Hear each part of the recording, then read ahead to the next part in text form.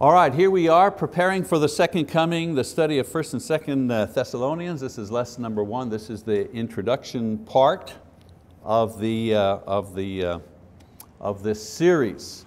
Um, I want to begin uh, 1st Thessalonians and 2nd Thessalonians. I want to begin talking about this, um, this particular series by reading something out of Matthew. Okay, so Matthew chapter 24, verses 42 to 44, uh, Jesus says, therefore be on the alert, for you do not know which day your Lord is coming. Be sure of this, that if the head of the house had known at what time of the night the thief was coming, he would have been on the alert and would not have allowed his house to be broken into. For this reason you also must be ready, for the Son of Man is coming at an hour when you do not think He will. I don't know about you, but when I was a child, my parents taught me to be ready for the next day. And I mean, not just you know, as a theory, it was a very concrete thing uh, that they did.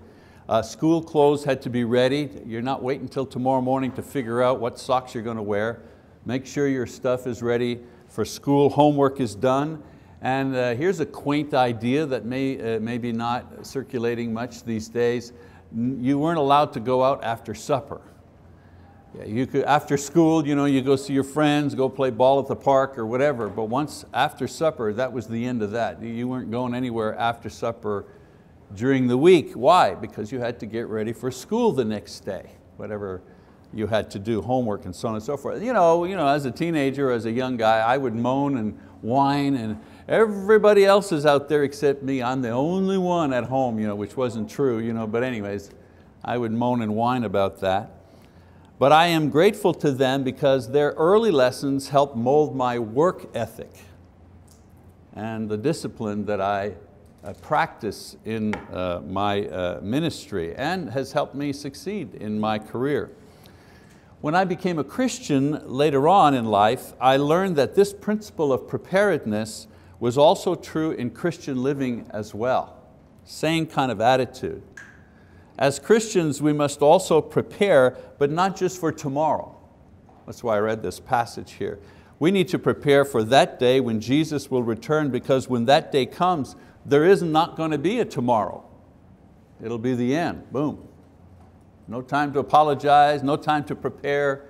If you weren't prepared when He comes, it'll be too late. So I say all of this as a bit of an introduction for Paul's epistles to the Thessalonians, uh, which we'll be studying.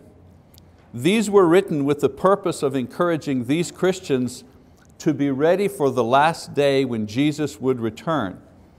Now, it's a day that could have happened in their lifetimes, but didn't. They had to be ready because it could have happened then, but it didn't happen. So that means that the last day could happen during our lifetime. We don't think about that. We always see that as some, someone else's thing in the future, but it could happen in our lifetime. So we're going to study these letters in order to prepare ourselves should the day happen in our lifetime, because it could. Why do I say that? Because Jesus says, you don't know when. He says, you know, be ready. So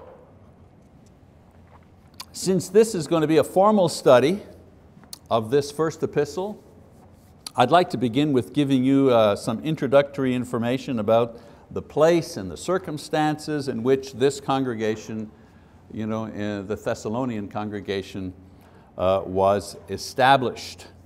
Good way to start a Bible study, you know, put everything in context, make sure everybody, you know, we're all on the same page when we finally get into the text.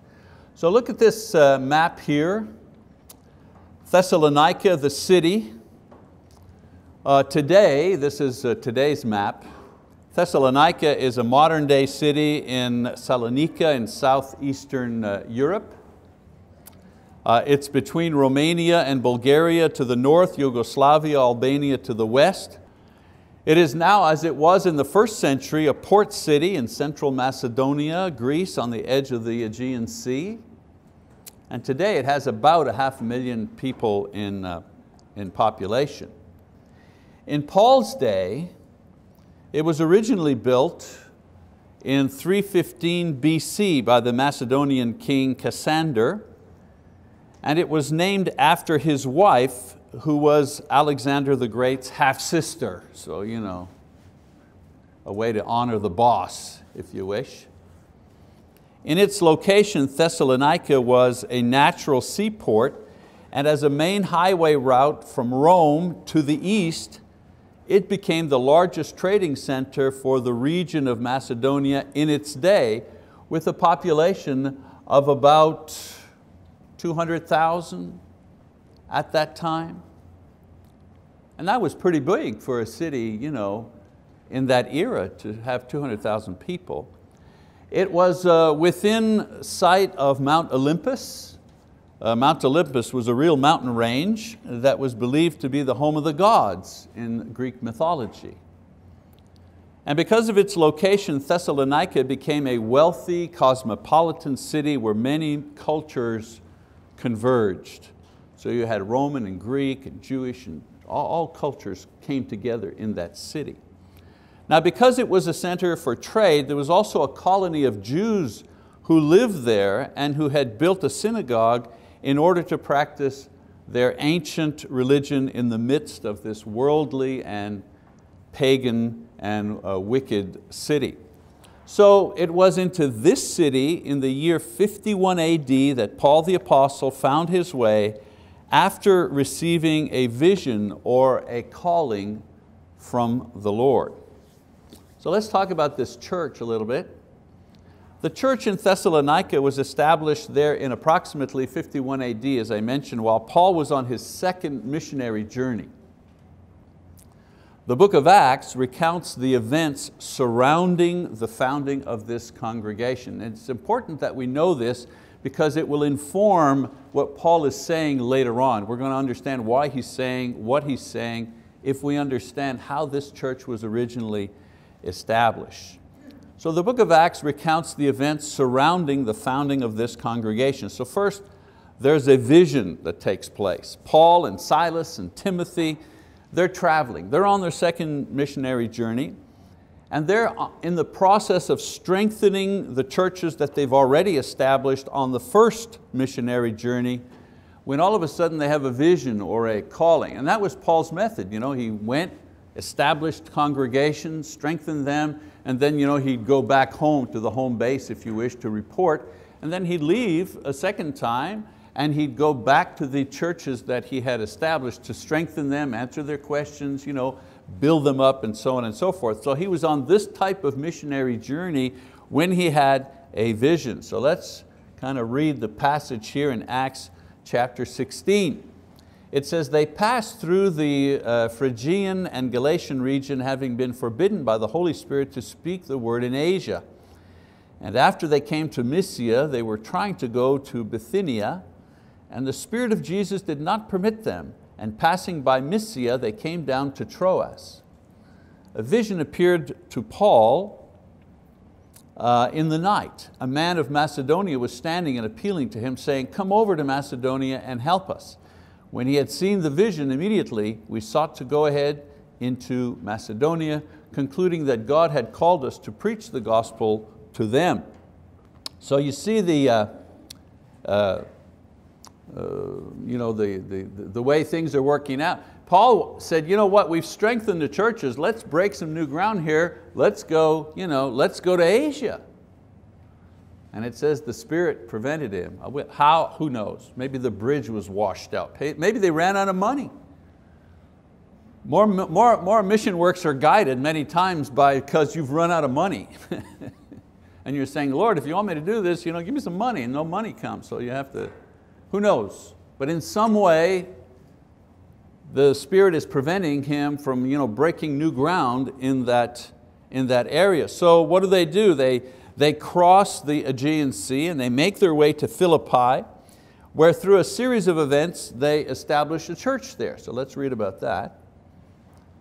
It says, so pulling out uh, to sea from Troas, we ran a straight course to Samothrace and on the day following to Neapolis, and from there to Philippi, which is a leading city of the district of Macedonia, a Roman colony, and we were staying in this city some days. It says, and on the Sabbath day we went outside the gate to a riverside where we were supposing that there would be a place of prayer. and we sat down and began speaking to the women who had assembled. A woman named Lydia from the city of Thyatira, a seller of purple fabrics, a worshiper of God, was listening, and the Lord opened her heart to respond to the things spoken upon, uh, to, uh, by Paul.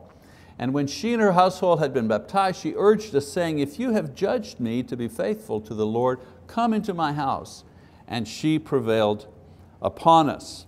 So later on, we're going to read that their presence and their activities in this place here where they've established a small congregation, beginning with these uh, women, uh, their presence and activities stir up a riot and they're jailed, but they're miraculously released.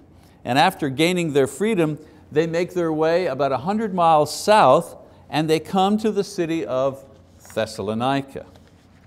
Now Luke recounts the church being planted there along with further troubles encountered by these missionaries. So let's read that passage. It says, now when they had traveled through uh, Amphipolis and Apollonia, they came to Thessalonica where there was a synagogue of the Jews. And according to Paul's custom, he went to them and for three Sabbaths reasoned with them from the scriptures, explaining and giving evidence that the Christ had to suffer and rise again from the dead and saying, this Jesus whom I'm proclaiming to you is the Christ. And some of them were persuaded and joined Paul and Silas along with a large number of God-fearing Greeks and a number of leading women. But the Jews, becoming jealous and taking along some wicked men from the marketplace, formed a mob and set the city in an uproar and attacking the house of Jason, they were seeking to bring them out to the people. When they did not find them, they began dragging Jason and some brethren before the city authorities, shouting, these men uh, who have upset the world have come here also. And Jason has welcomed them and they all act contrary to the decrees of Caesar saying that there's another king, Jesus. They stirred up the crowd and the city authorities who heard these things. And when they had received the pledge from Jason and the others, they released them. The brethren immediately sent Paul and Silas away by night to Berea, and when they arrived, they went into the synagogue of the Jews. So we see that Paul uh, spent about a month there, one month. It's not a long time, you know, not even a quarter. Here we have, a, you know, our quarters are three months you know, uh, for Bible study, one month he's, he, he, he stays there teaching them you know, and so on and so forth before he's chased away to the neighboring city of Berea some 50 miles west of Thessalonica. So this was not a lot of teaching time for a new, for a new church. You see what I'm saying? I mean, uh, nowadays, one of the things that happens a lot when someone becomes a Christian, there's a lot of moral teaching that takes place. You know, Christians don't do this, Christians try to avoid that kind of worldly living and so on and so forth. But here he's beginning with Jews and we're thinking that the Jews had already a lot of training in you know, virtuous living, let's put it that way. So there perhaps was less focus on that type of teaching to, to bring them to a level of you know, uh, normal Christian lifestyle. It was more, who is Jesus? How is He the Messiah? How is He the promised one? Okay, this, this would be the focus probably of the teaching, demonstrating that Jesus is the true Messiah from the, uh, what we would call the Old Testament, the Jews at, then, at that time simply call from their own scriptures. But even so, three weeks is not a, is not a month, is not a very, a very long time. So Paul spends some time in Berea teaching before moving on to Athens in southern Greece. And he leaves uh, Silas and uh, Timothy in this city, uh, Berea. And uh, he goes to Athens, he makes a few converts there, and uh, he makes the famous sermon on Mars Hill to the Athenian philosophers, recorded in Acts chapter 17. And soon after, he leaves Athens and he heads for his final destination in Greece, which is the city of Corinth. And we know Corinth, right, because we have those epistles, 1 Corinthians, 2 Corinthians, well, that was Corinth. Now, here's the, you know, the, the point here, the historical context. It is during his 18 months in Corinth that Paul wrote the two letters that he sent to the Thessalonian church. All right. So let's move ahead now and see what is the, uh, you know, what, what is the, uh, the situation that brings about his writing these two letters. Once Timothy, remember Timothy was left behind, once Timothy makes his way to Corinth to be with Paul, he begins to report on the progress of the young churches that they had established in the region. Okay? When it came to the uh, uh, Thessalonica, to the church in Thessalonica, Timothy brings news that these young Christians were bearing well under the persecution that they were suffering because of their faith. He did mention, however, that several of their number had died and they were confused as to what would happen to those who died before the Lord returned. So obviously, Paul had done some teaching concerning the return of the Lord. Not only that he was the, the true Messiah according to Jewish prophecy and scripture, but also you know, his life, his death, his resurrection from the dead, certainly he taught that, that's the gospel, and apparently some material concerning his return. Not a whole lot maybe, but that this was part of God's plan, that Jesus would return uh, to judge and so on and so forth. So all of a sudden, you know, uh, Paul had taught them that Jesus was to return, but they hadn't considered the idea that some of them might die before that event took place. They assumed, you know, never assumed, but they assumed, okay, Jesus is coming back. Okay, you know, month or two, six months. His ministry only lasted three years, you know, so surely it's not going to take three years. And then all of a sudden grandpa dies and so-and-so dies of a disease, a baby uh, dies at birth. You know, they're starting to ask themselves questions.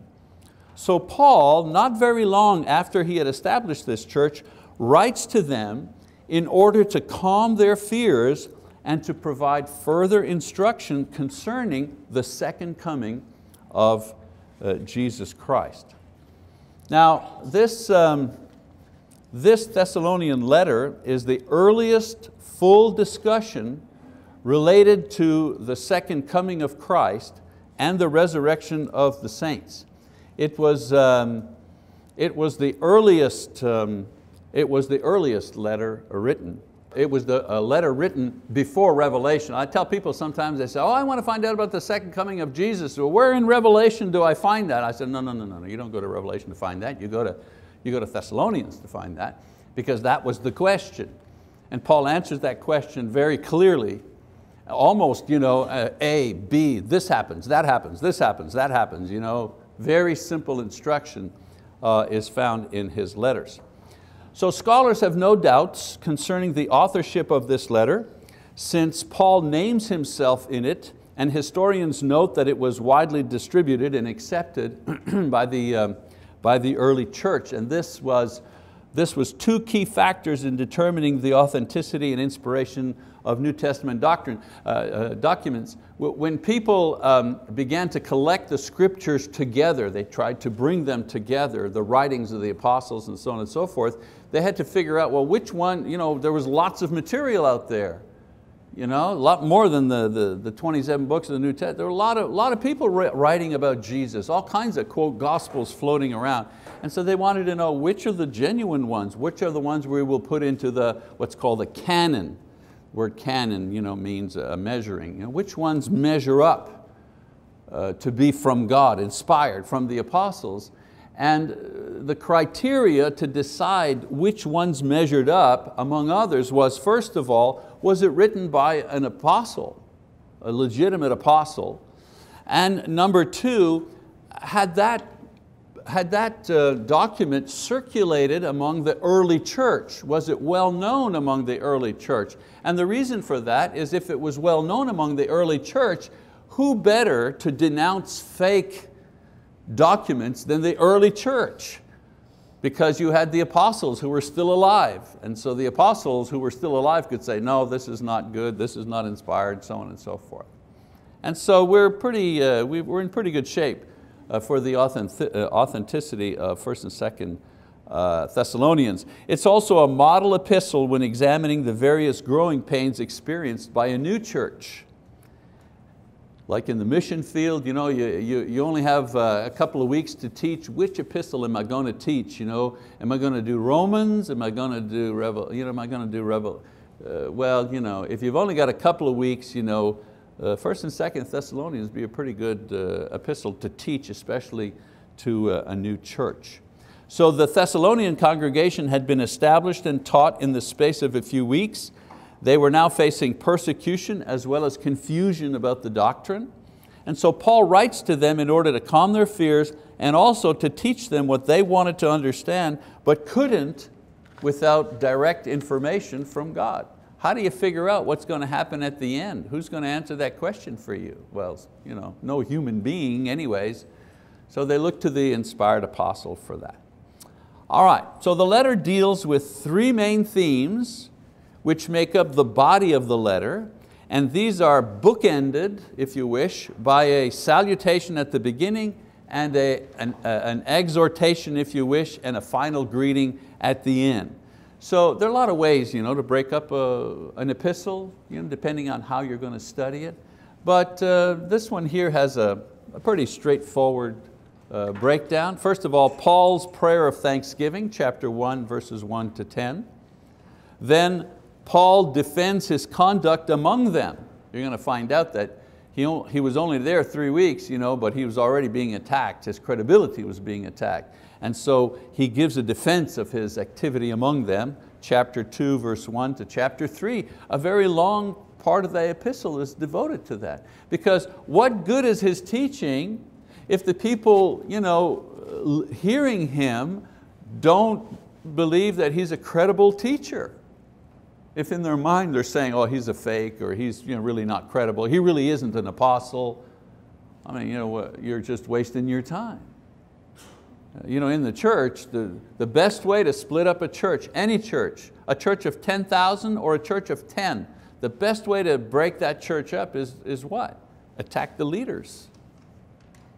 Undermine the credibility of the leaders. If you do that, if you split them up, it's a piece of cake after that. So that's what was happening there. Number three, uh, Paul exhorts the Thessalonians to pure conduct.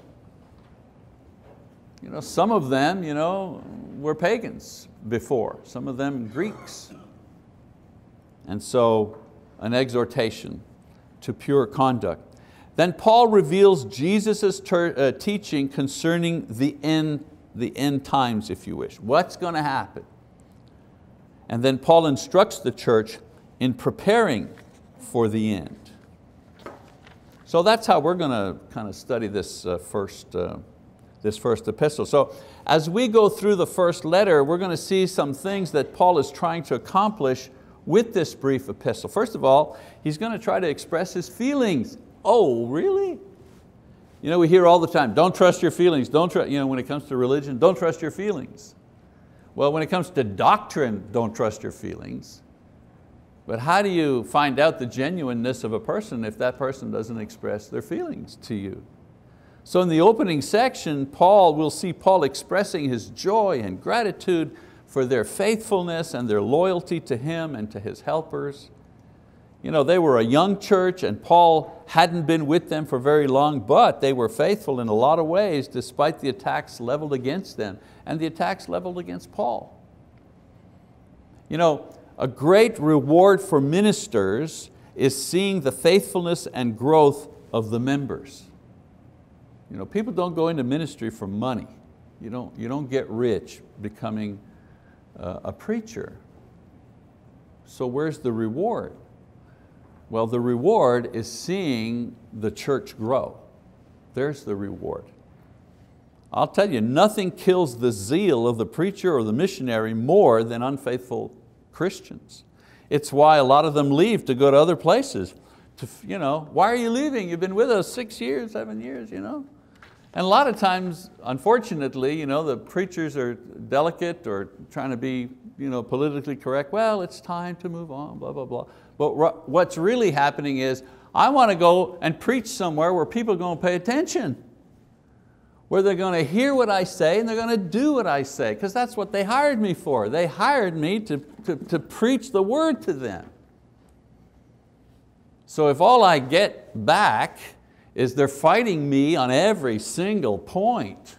They're getting mad at me because I'm just telling them what the word says concerning their conduct or their zeal or their, their devotion. If, if that's all it is, uh, why? There's lots of people that need to hear the gospel out there. You know. I'm, so he opens his heart to them, say, but you guys, you know, Thessalonians, you guys are not like that. Secondly, he, uh, he wants to defend himself. After his departure, there were some who accused him of being insincere, being a fraud. So he has to spend time defending his conduct. You know, as I said, the best way to cause division is to attack the leaders. Three, Paul encourages them. Their new faith was being tested and they were being tempted to return to their pagan lifestyles, especially sexual impurity, because a lot of the religious activities surrounding the pagan religions was sexual. In many of their religions, uh, having sex with the uh, uh, temple prostitutes uh, was part of the religious exercise. They, they didn't have trouble getting the guys out to church. And so that was a, that was a powerful draw to draw people back into that lifestyle. And so he exhorts them, you don't, don't be drawn back into that type of, that type of uh, behavior. Um, he also gives them further teaching. He gives them teaching in two critical areas, the details concerning the second coming of Christ the idea here, the second coming is mentioned 20 times in two letters. These two little letters, 20 times the return is mentioned. And also sanctified living. The second coming was the reason for the purified living of Christians. Paul explains this in more detail. How am I preparing myself for the return of Jesus? I'm purifying myself. I'm getting rid of all the junk.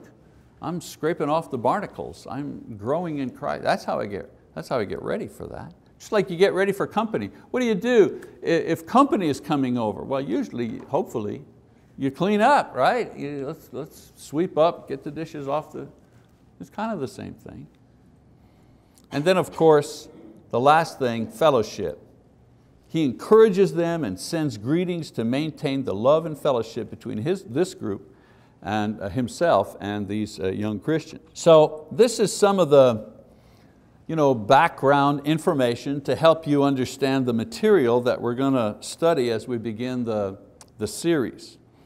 In the meantime, some closing remarks concerning the relevance of this study for today. Why do we study this? Why should we study this? First of all, we study this epistle because in many ways it's a portrait of ourselves. You know, we're a small group. We like to think, well, we're a pretty good sized Church of Christ, you know, we got 400 people, but you know, come on. We're, we're a small group here in this big old society. And you know, we're in Oklahoma, so this is a hybrid place, you know, the Bible Belt. You know. Come to Montreal, three and a half million people, you know, 500 New Testament Christians. You, know. you want to feel small, go to these big cities. Uh, go to New York, go to Tokyo, go to Beijing, in China, they have cities we have never even heard of that have seven million people. We never even heard of these cities, seven million people. So we're like a drop in the ocean. We're, we're a tiny little group here and we're surrounded by a large secular immoral society. Who controls the media that feeds the brains of our children? We don't. We don't. Without getting too preachy here, you know, Satan controls the media. We, we don't control that. This media that our young people are consuming, what is it, four to six hours a day on the, in front of a screen somehow? We don't control that. So it is always a temptation to return to a worldly, to a, a worldly lifestyle. So they're us in many ways. Secondly, we study this to gain a better understanding about the end of the world and the various teachings about these matters. You know, we should know what the Bible teaches about the man of lawlessness. Who is the man of lawlessness? And what is the rapture? And, and, and the tribulation? And, and what happens at the end? We need to know that. Not because it's scary, because it gives us confidence We know what's going to happen. We know exactly what's going to happen, but because there's been so much teaching and so much publicity uh, you know, about false teaching on this particular matter, it's confusing to us. So we say, well, I don't even want to know about it. It'll all take care of itself. Well, it won't all take care of itself. We, need to understand. Uh, if we didn't have to know it, it wouldn't be in the book. You know? It wouldn't be, it wouldn't be in the book. So we need to get a handle on these things and try to separate fact from fantasy. And many of your friends and family, so on and so forth, they believe in this other thing. So it's, it's quite an eye-opener when you very clearly lay out for them what's going to happen at the end of the world. And it's understandable, it's clear. You go, oh, well that's not complicated at all. Well no, it's not that complicated. And then of course, we study to better prepare ourselves for the return of the Lord. He may come sooner or later, but we need to be ready in any case. And you know, uh, I'm struck by what Jesus says. You know, he says, be ready for you do not know when the Son of Man will come. And you know what? He means it. You don't know. You can't tell. You know, during the Second World War, everybody thought it was going to be the end of the world because the world was at war. Hitler seemed you know, impossible to beat and so on and so forth. It must be the end of the world. They thought they could predict it. But Jesus clearly and plainly says over and over and over again, you don't know. Everything will go on just as it has always been going on. Uh, you'll be building buildings, buying houses, you'll be you know, driving your car, having babies, celebrating your, your 65th anniversary, you know, everything. There'll be a war over here and an earthquake over there and a flood over there and uh, stuff will just be happening and, and my hand clap there, that's exactly how it's, that's exactly how it's going to happen. No time to take a breath. Between two breaths, everything that Jesus says through Paul here, will, will take place. And that's why we need to be ready. And hopefully we'll, we'll have a good study uh, on this. Lots of other great material in 1st and 2nd Thessalonians, but we'll certainly take a look at that. Okay, that's our class for this morning. Thank you for your attention.